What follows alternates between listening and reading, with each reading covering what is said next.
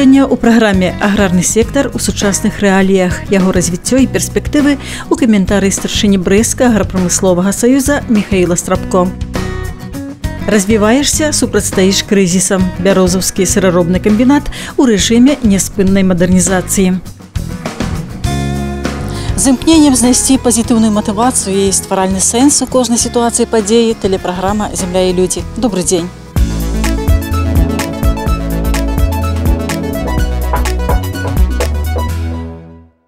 развіваешся значыць супрацьстаіш крызісам на бярозаўскім сыраробным камбінаце ў аснову эканомікі паклалі мадэрнізацыю і асваенне новых тэхналогій у адным са сваіх падраздзяленняў на іванаўскім малочным заводзе разгарнулася маштабнае будаўніцтва з мэтай асваення імпартазамяшчальнай прадукцыі Гісторыя новай будоўлі для сённяшняга моманту можна сказаць банальная. У 2007 годзе іванаўскі малочны завод далучылі да бярозаўскага сыраробнага камбіната. У спадчыну асноўнаму прадпрыемству разам з цэхам дасталася і незавершанае будаўніцтва завода па вытворчасці дзіцячага харчавання для патрэб усяго савецкага саюза.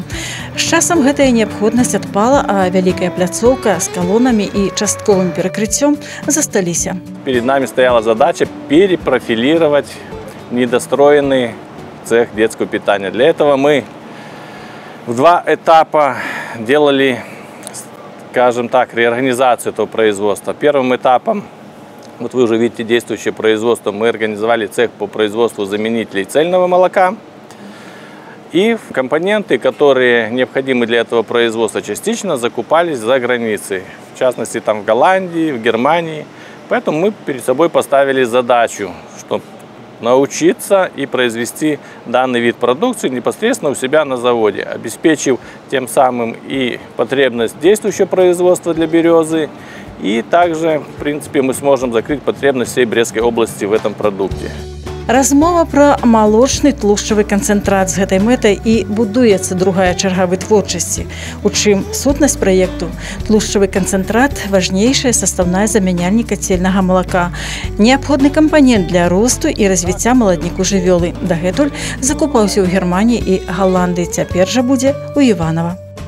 Но уникальность этого проекта состоит именно в самой технологии. Технологию разрабатывали и экспериментировали на базе института мясомолочного нашего белорусского. То есть там получали уже контрольные образцы, их исследовали. Потом вот эта технология уникальна э, тем, что до сих пор в Беларуси 50% жировой концентрат не производит никто. Есть в планах даже запатентовать эту технологию. Во всяком случае, мы подали заявку на патент. Понимаете, в чем дело? Э, практически на каждом заводе производятся заменители цельного молока. Жировой концентрат, который мы будем производить на данном производстве, он является одним из компонентов, одной из составляющей заменителей цельного молока. То есть каждое предприятие его на сегодняшний день импортирует. А мы его будем производить здесь. Часть будем использовать у себя, а остальную часть хотелось бы продать нашим предприятиям в области или в республике. Згодна падлікаў 40% тлушчавага канцэнтрата будзе выкарыстоўвацца ў сябе для вытворчасці замяняльнікаў натуральнага малака. Састаўныя канцэнтрата, раслінныя тлушчы і сывартка. Березовский сыродельный комбинат давно работает с сывороткой. Уже более 30 лет мы получаем сыворотку от производства сыров. Это у нас 700 тонн сыворотки на ежедневно идет на производство. Мы знаем, как эту сыворотку перерабатывать, мы знаем, что с нее можно получить. Но в целом существует много мелких предприятий, которые нерентабельно заниматься производством этой сыворотки из-за малого объема. Поэтому это производство рассчитано, что мы будем не только свою сыворотку использовать, но будем также сыворотку покупать на тех предприятиях, которые в Беларуси сами его не могут переработать. У цэлым пры вытворчасці малочных тлушчавых канцэнтратаў будзе перапрацоўвацца да 300 тонн сыворотки. А в случае просто производства сыворотки деминерализованной мы сможем переработать в сутки на этом, в этом цеху 600 тонн сырой сыворотки. Рынок сыворотки очень большой. Кроме того, что мы ее собираемся использовать именно для продуктов, для заменителей цельного молока, просто это продукт, который экономически целесообразно производить и продавать за пределы республики. І таким чином ліквідуецца экспартная састаўная ў вытворчасці замяняльнікаў натуральнага малака. Што ж да тлушчавага канцэнтрата аб ім гаворка з захапленнем і ў яго карысць прыводзяцца неабвержныя аргументы. Люблю приводить простой пример. Ни вы, ни я, ни наши дети не любят, когда нам дают э, суп, в котором жир плавает сверху. А маленькие телята тем более, они такое пойло пить не будут. Поэтому суть вот этого жирового концентрата и состоит в том, чтобы он находился внутри в пойле, чтобы теленок выпивал, и он на него положительно действовал. И очень сложное здесь слово, да, присутствует микроинкапсулированный, получается. Мы получим жировой концентрат. Это очень сложно вработать жировой шарик в сывороточный белок, чтобы можно было транспортировать, потом разбавлять в теплой воде, чтобы не разрушалась именно структура вот этой мицеллы. Потому что если просто жир с молоком помешать сухим и наложить поддон, то снизу жир выдавится, а он должен быть очень тщательно вработан. Жировой шарик должен быть окружен белком полностью. И эта структура должна сохраняться на всем моменте производства продукта. И дальше, когда он попадет на ферму, где его будут разводить в тепленькой воде, он должен остаться в таком же виде. Мы изучали очень много. У нас была возможность побывать на многих предприятиях на Западе, производимых данной продукции, притом э, на самых современных. Мы были в Польше э, буквально в прошлом году с Леонидом Ивановичем, на совершенно новом заводе, который с нуля построен э, на сегодняшний день. Очень э, много взято именно из их технологии. И мы считаем, что мы на сегодняшний день взяли самую современную технологию. Ну, и так должно быть, по-другому не может быть. В наш век такой развивающийся, быстрый. Каб адпавядаць умовам рынка цех вырашылі зрабіць больш функцыянальным у залежнасці ад кан'юнктуры можна будзе рабіць не толькі малочна-тлушчавай канцэнтраты і сушыць сываратку, але і сушыць натуральнае бястлушчанае малако і нават смятанку. Пастаўка абсталявання, на якім новая вытворчасць знойдзе ўвасабленне выйграла італьянская кампанія кошт праекта 210 мільярдаў беларускіх рублёў. Для того, чтобы оказать поддержку нам в строительстве, мы обратились в Брестский облсполком с проектом этого цеха и участвовали в конкурсе на выделение нам денег из инновационного фонда. Государство заинтересовано в этом проекте, поскольку это и импортозамещение, это и создание новых рабочих мест, это и новые технологии, которые будут работать на нашем белорусском рынке. Поэтому мы ежегодно получаем поддержку в виде 15 миллиардов с Брестского инновационного фонда. Кроме того, государство выделило нам льготный кредит. Это Банк развития Республики Беларусь. И остальные это собственные средства предприятия. Тендер на ўзвядзенне аб'екта выйграла будаўнічае унітарнае прадпрыемства аб'яднання Брест-Албасельбуд. Мы сократили сроки продолжительности строительства, значит, ну и, соответственно, некоторые затраты, вот, в частности, на этом объекте мы э, командировочные убрали, временное здание сооружения, значит, э, э, будем говорить, транспортные расходы э, уменьшили свои в расчетах. И то, что касается, значит, э, вопросы, связанные по плановым и накладным расходам тоже. Будаўніцтва ідзе па графіку на дзень здымак на аб'екце працавалі будаўнікі 10 падведамасных арганізацый Брест або Сельбуда, у тым ліку Іванаўскай СПМК-7 наш лозунг нашего предприятия, что мы строим все и стараемся, если мы взяли объект, то строим его практически на все 99% собственными силами и стараемся не привлекать внешних субподрядчиков. И это, в принципе, создает такой благоприятный климат, понимание, потому что любому заказчику э, приятно работать с одним подрядчиком, а не с многими организациями. То есть, как бы координацию действий мы берем на свой аппарат управления, а уже непосредственно все взаимовопросы с заказчиком решаются через одного подрядчика в лице объединения Брест-облсельства. Новы цех дасць магчымасць прыняць на працу не менш чым 30 мясцовых жыхароў. Это много для Иванова. Это, конечно, будет не сразу, угу. потому что до конца года мы должны запустить данное производство, э, выйти э, на, на продукт качественный, И только, я надеюсь, уже в следующем году, когда мы начнем развивать свои мощности, мы тогда будем уже и добавлять людей. И будем выходить на производственную мощность и организовывать круглосуточную работу цеха.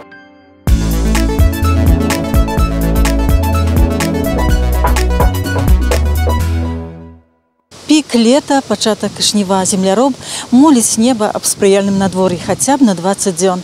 Менавіта такія аптымальныя тэрміны уборачных работ. Заходзячы з мясцовых умоў, у кожнай гаспадарцы свае падыходы, але якімі б яны не былі, усе роўна падпарадкаваны адзінай стратэгіі па меры паспявання выбіраючы сухія ўчасткі некаторыя ж па меры неабходнасці пакідаючы каб даспелі пад познюю уборку горача ад спякотнага сонца горача ад напружанасці агульная заклапочанасць агульнае імкненне жніво у адкрытым акцыянерным таварыстве ведамлянская пара якая згуртовая асабліва каждую жатву ждешь как праздник и каждая жатва в любом случае это экзамен. И каждый раз волнуешься и каждый раз готовишься. Хотя знаешь, что коллектив прекрасный, что что все вроде пройдет нормально. Сёлетні ўраджай дарагі ўраджай у сэнсе прамым і пераносным. Сухая восень, якая негатыўна паўплывала на развіццё азімых, маласнежная зіма, за якую азімыя двойчы узнаўляліся вегетацыя, холад вясной і летняя спякота, якая не дала зерню наліцца ў поўнай меры уведамлянскім, дзе глебы адныя з бедных у раёне і в обласці такія фактары адчувальныя надзвычай. Сітуацыя кампенсуецца культурай земляробства на такім узроўні, які і сёлета дазваляе разлічваць на ураджайнасць у межах мінулагодняй. На селе, в аграрном секторе легко не было никогда. Вы можете только вспоминать те времена, вот, а тогда было легко. А тогда было вот так, а тогда было топлива много, а тогда электроэнергия стоила дешево. И, и типа тогда было просто. Но были другие проблемы, и тоже было нелегко. А на сегодня другие, которые мы должны решать, потому что мы сегодня возглавляем этот сектор, вот руководители там, наши специалисты. З гадамі вопыта з вопытам мудрасць з такіх кіраўнікоў Михаил Миколаевич Страбко. Аграном па адукацыі, закончыўшы беларускую сельскагаспадарчую акадэмію, працаваў на пачатку па спецыяльнасці потым старшынёй прафсаюзнага камітэта, затым намеснікам старшыні тут жа у камянецкім раёне у вядомым на той час калгасе Савецкая Беларусь. Відамлянскім кіруе з 1998 года. Каб кіраваць грамотна, вырашыў працягваць вучобу, закончыў брэсцкі дзяржаўны тэхнічны універсітэт па спецыяльнасці менеджмент у аграпрамысловым комплексе. Узнагароджаны ордэнам беларускай праваслаўнай царквы свяціцеля кірылы тураўска другой ступені, медалём за працоўныя заслугі, юбілейным медалём Рэспубліканскай федэрацыі прафсаюзаў да стагоддзя прафсаюза. Заслужаны работнік сельскай гаспадаркі Рэспублікі Беларусь, старшыня брэскага аграпрамысловага саюза. Паслужны спіс і спіс узнагарод, якія выклікаюць і павагу і давер да меркаванняў гэтага чалавека наконт асаблівасці развіцця аграрнага сектара ў сучасных умовах. Сегодня такие условия. Раз они такие, мы их и должны решать. И я скажу, что мы их и решаем. Может быть, они где-то тяжелее, естественно, и после нас, кто будет руководить, будут говорить, что э, вот а тогда было легче. Но зачем тогда надо было идти в сельское хозяйство? Чтобы ныть? Я считаю, пришли, возглавили, работали. Даже в этих условиях, которые мы говорим очень тяжелые, можно же работать нормально и добиваться нормальных результатов, и вселять надежду в своих специалистов, в работников, и находить возможности выплатить достойную зарплату. А что для этого надо? Для этого надо просто-напросто отдавать себя работе. И научить своих подчиненных, чтобы они отдавали себя работе. И тогда будут показатели. Я скажу, есть молоко, есть деньги. Нам это говорят и, и сверху, но мы же это и сами понимаем. Есть мясо, тоже есть деньги. Можно ныть и говорить, что цена на мясо невысокая. Но ведь я ее не изменю, и мой сосед руководитель не изменит. Значит, надо что? В эти реалии принимать и работать. А часть руководителей, вот я бычков не буду откармливать, потому что они убыточны. Ну так так можно бычков не откармливать, сахарную свеклу не сеять, потому что там затраты большие. От картошки поотказывались, но картошка другая тема, там пошла специализация. Можно уменьшить э, количество зерновых и так далее. Все можно понаходить, отказаться от э, вот и мы не будем много кукурузы сеять и так далее. То есть можно находить, поотказываться, а за счет чего-то даже. Адкрытае акцыянернае таварыства ідамлянскі ў ліку трох валавастваральных гаспадарак у камянецкім раёне па вытворчасці жывёлагадоўчай прадукцыі. Грамадскі статак налічвае амаль 7 тысяч галоў, у тым ліку 2200 кароў. У гаспадарцы штодзень надойваюць 37 з паловай тонн малака на 2 тоны больш, чым мінулым летам. Вынік працы над паляпшэннем якасці кармавой базы. Поэтому производство молока и если он высокий уровень, то на сегодня, благодаря тому, что на сегодня нет проблемы сбыта молочной продукции, ее нет. Для нас, для сельхозников, ее не существует. Может быть, там для перерабатывающих, э, которые наше молоко перерабатывают, есть проблема находить рынки сбыта, как уже ту продукцию продать. Но для нас то вообще никакой проблемы нет. Сколько бы мы ни получили молока, Савушкин продукт всегда заберет. И мы сегодня 37 тонн э, в сутки доим, доили бы мы 100 тонн, и мы 100 тонн заберем. Поэтому работаю в этом направлении. Мясокомбинат Брестский, ему были трудности. Но на сегодня тоже можно продать. А бы были бы бычки, э, хорошая кондиция, если 500-550 килограмм, э, тоже не отказывают, пожалуйста. Ну а в растеневодстве так благодаря нашему, э, нашему правительству, э, ведь э, есть госзаказ, и я могу сказать, что на сегодняшний день цена на зерно невысока.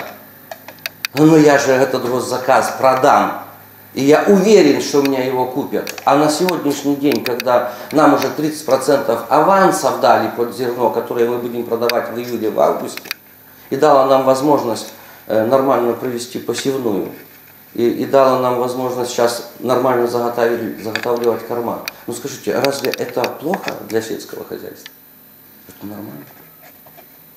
Дарэчы, плошчы пад зерневымі больш 4 тысяч гектараў ураджай вырошчваецца з разлікам на пераходны фонд. На цяперашні момант зерня мінулага ураджаю хопіць, каб спакойна карміць жывёлу яшчэ два месяцы.